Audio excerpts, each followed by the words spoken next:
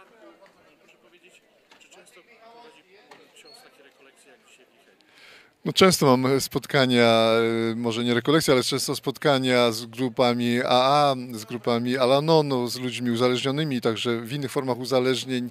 Y, Często mam też rozmowy indywidualne, no i dzięki temu się uczę tych mechanizmów, jakie y, ci ludzie, mm, z którymi się borykają. To takie ślepe zakochanie w tych substancjach, czy w jakichś czynnościach nałogowych, to zakłamanie samych siebie, oszukiwanie nałogowe samych siebie, to manipulowanie niestety genialne innymi ludźmi, żeby nie przeszkadzali nam trwać nałogu.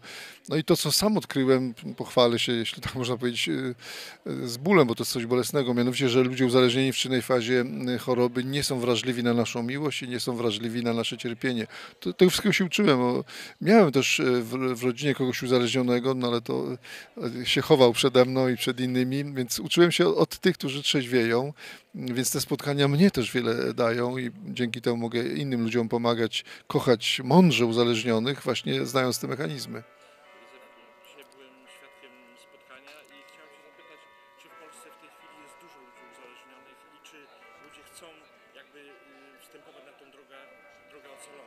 No, uzależnionych mamy coraz więcej. Współczesny człowiek, przynajmniej w Europie, w, w Ameryce Północnej, to jest człowiek uzależniony, można powiedzieć. I teraz dawniej uzależniony to był alkoholik właściwie 50-100 lat temu, 200. Teraz mamy po pierwsze wielu uzależnień chemicznych, już nie tylko alkohol, ale narkotyk, dopalacze, y, substancje jakieś tam y, przeciwbólowe, tabletki, jakieś leki psychotropowe. Ale mamy też masę e, tak zwanych nowych uzależnień, uzależnień tak zwanych behawioralnych, czyli od nałogowych czynności natrętnych e, typu hazard, pornografia, uzależnienia elektroniczne, uzależnienia od gier komputerowych, od zakupów, od jedzenia, czy od lęku przed jedzeniem, od agresji, y, od kredytów. To są no, zupełnie nieznane jeszcze wcześniej uzależnienia. Więc współczesny człowiek jest wręcz symbolem ludzi uzależnionych. Kiedy spotykam się z młodzieżą, to mówię, proszę księdza, niech, niech ksiądz nam nie mówi o przykazaniach, o normach moralnych, bo my jesteśmy wolni, my chcemy postępować tak, jak my chcemy. Ja mówię, jacy wolni? Nie możesz na minutę się oderwać od smartfona, yy, trzymasz puszkę piwa w kieszeni i ty mówisz o wolności, yy, jakaś substancja, jakiś przedmiot tobą rządzi, yy, właśnie dlatego, że odszedłeś od, od norm moralnych, od miłości, od odpowiedzialności.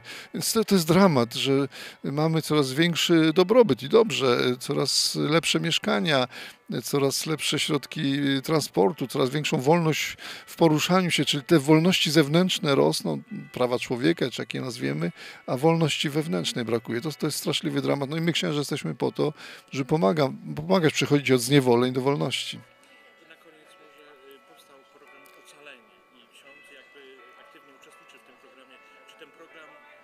Pomóc tym? Tak, no program Ocaleni y, pokazuje po pierwsze y, osoby, które były w kryzysie i wyszły z tego, więc dzięki temu telewidzowie widzą, da się wyjść. Po drugie, program Ocaleni pokazuje drogi wyjścia, y, punkty zwrotne, to, że potrzeba grupy wsparcia, potrzeba terapeutów, potrzeba kro- 12 kroków jako metoda pracy nad sobą, czyli sama dobra wola nie wystarczy. Ten program pomaga odróżniać miłość od naiwności, od pobłażania tym, którzy trwają w nałogu. Oni muszą sami się nacierpieć, bo są wrażliwi na własne cierpienie. Więc to jest bardzo instruktażowy program y, misyjny, no, który ratuje y, parę milionów rodzin, które przeżywają dramat uzależnień wśród swoich bliskich. Program, który jest błogosławieństwem dla naszego społeczeństwa.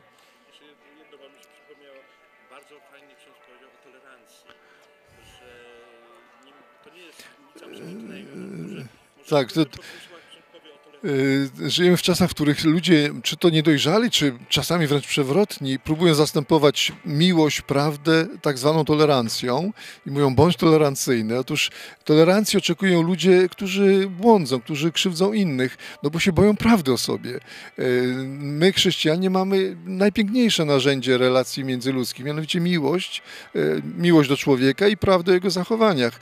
Jeżeli ktoś y, postępuje szlachetnie, to tolerowanie go to jest za mało. No przecież wspieramy, a nie ledwie tolerujemy. A jeżeli ktoś błądzi, to tolerancja to za dużo. Y, To przed błądzącymi się bronimy, ich upominamy, więc tolerancja jest potrzebna do kwestii smaków, gustów. Tam mogę być tolerancyjny, bo to jest nieważne. Ale w kwestiach ważnych życiowo to jest miłość do człowieka i prawda o jego zachowaniu. Nic ponad miłość i prawdę nie, nie, nie wystaje. Nie ma większej wartości. E, Ksiądz Marek Dziewiecki, duszpasterz e, trzeźwości e, i, i wielki fan tych, którzy wychodzą z uzależnień. Po to jestem księdzem, żeby w tym pomagać. Szczęść Boże. Gratuluję nagrody, bo jutro ksiądz Szymonek gratuluję.